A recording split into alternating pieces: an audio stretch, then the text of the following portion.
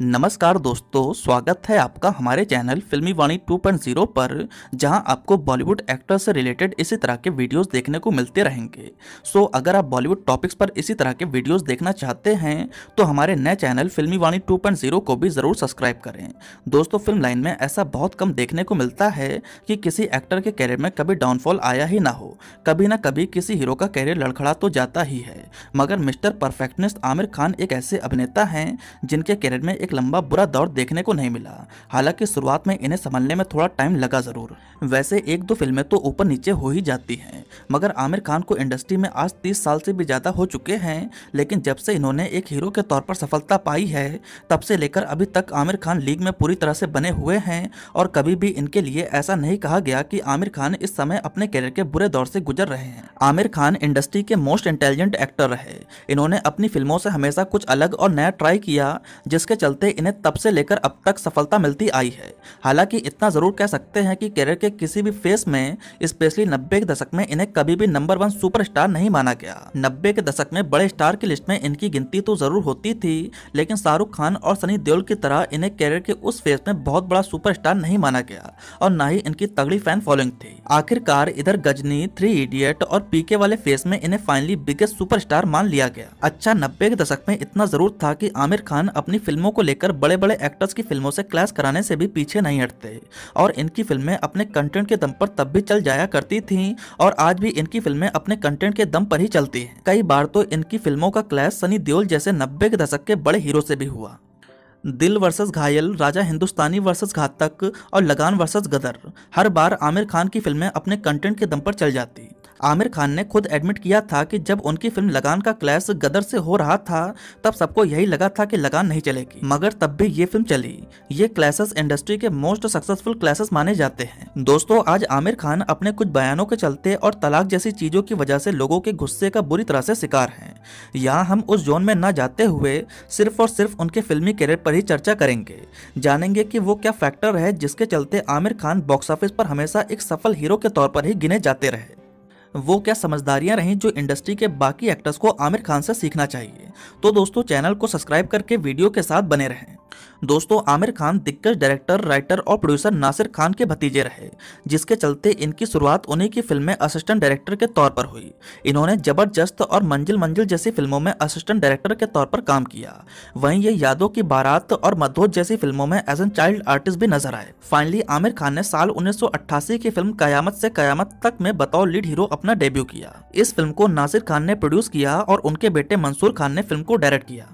Film release हुई और release के साथ ही ये फ़िल्म ब्लॉकबस्टर हो गई। रातों रात आमिर खान और जूही चावला को एक ही फ़िल्म से सुपर स्टारडम मिल गया। इस म्यूजिकल रोमांटिक फ़िल्म ने बॉक्स ऑफ़िस को पूरी तरह से कैप्चर कर लिया। साथ ही साथ फ़िल्म के गानों ने टीवी से लेकर रेडियो तक धूम मचा के रखा था। फ़िल्म उस साल की one of the highest grosser film रही। साथ ही साथ फ़िल्म का म्यूज़िक एल्बम उस साल का बेस्ट सेलिंग म्यूज़िक एल्बम था। इस एक फ़िल्म की सफलता से आमिर खान के सितारे बुलंदियों पर आ चुके थे और एक के बाद एक इन्हें कई फ़िल्मों के ऑफ़र आने लगे। हालाँकि इसके बाद इनकी कई फ़िल्में लाइन से फ्लॉप हुई। Raakh, love love love, Awwal number और तुम मेरे हो जैसी फ़िल्में बॉक्स ऑफ़िस पर डिजास्टर रही ऐसा लगने लगा कि मानो Aamir Khan one movie wonder बनकर रह जाएँगे। फिर साल 1990 की फ़िल्म दिल ने इन्हें सहारा दिया। दिल बॉक्स ऑफ़िस पर बहुत बड़ी ब्लॉकबस्टर रही। इस फ़िल्म के बाद भी इनकी तीन चार फ़िल्में बॉक्स ऑफ़िस पर फ्लॉप थीं, लेकिन अब तक आमिर खान खुद को एज एन एक्टर प्रूव कर चुके थे और ये अपना कैरियर भी संभाल ले गए। इसके बाद दिल है कि मानता नहीं, जो जीता वही सिकंदर, और हम है राही प्यार के जैसी फ़िल्मों से इन्होंने अपनी पकड़ और मज़बूत बना ली। फिर रंगीला, राजा हिंदुस्तानी, इश्क, गुलाम और सरफरोज जैसी फ़िल्मों से ये कामयाबी की सीढ़ियाँ चढ़ते गए। आमिर खान नब्बे के दशक में एक रोमांटिक हीरो बनकर उभरे। हालाँकि सरफरोज, अर्थ और बाजी जैसी फ़िल्मों में इनकी परफॉर्मेंस को भी काफ़ी ज़्यादा पसंद किया गया। इस तरह आमिर खान ने अपनी मज़बूत पहचान बनाई।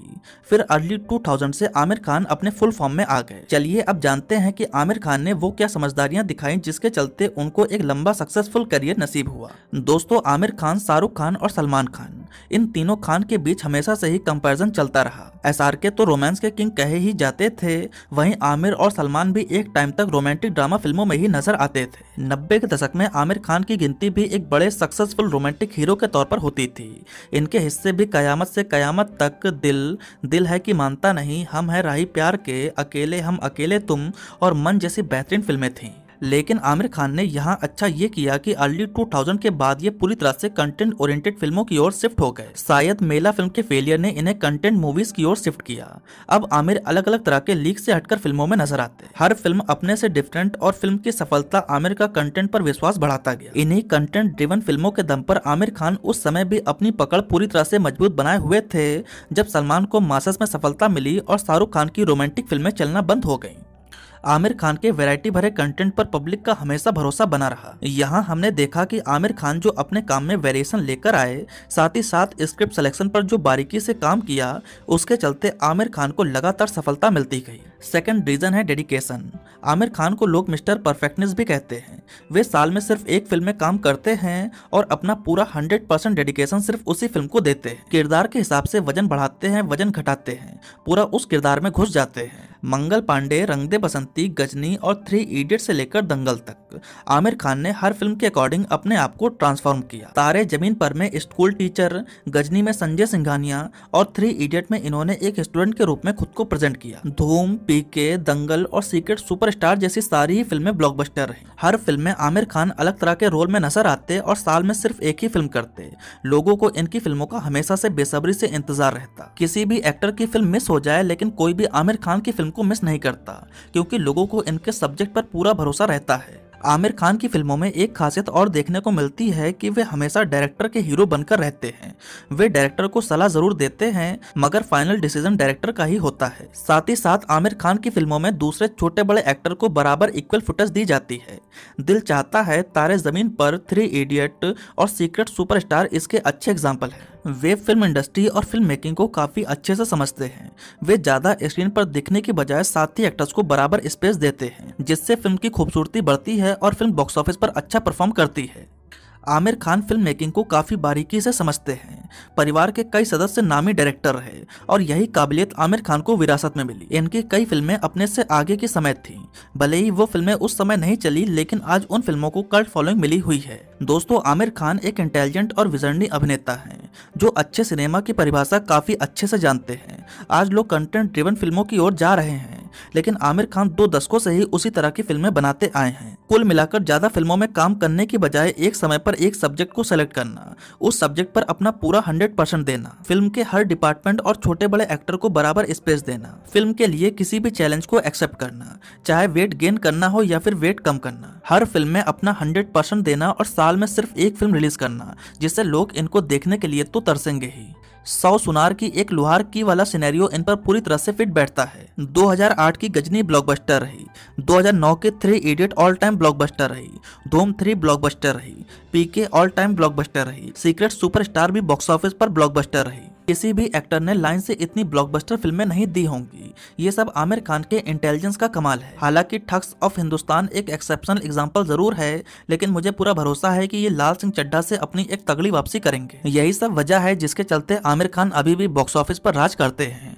तो दोस्तों, ये रहा आमिर खान पर हमारा एक डेडिकेटेड वीडियो आपको हमारा ये वीडियो कैसा लगा, आप नीचे कमेंट सेक्शन में बता सकते हैं। साथ ही साथ नेक्स्ट अब आप किस एक्टर पर वीडियो देखना चाहते हैं, ये भी हमें नीचे कमेंट सेक्शन में ज़रूर बताएँ। अगर आपको हमारा वीडियो पसंद आया हो तो प्लीज़ लाइक करें, कमेंट करें और मेरे चैनल को सब्सक्राइब करें। आपका बहुत बहुत धन्यवाद।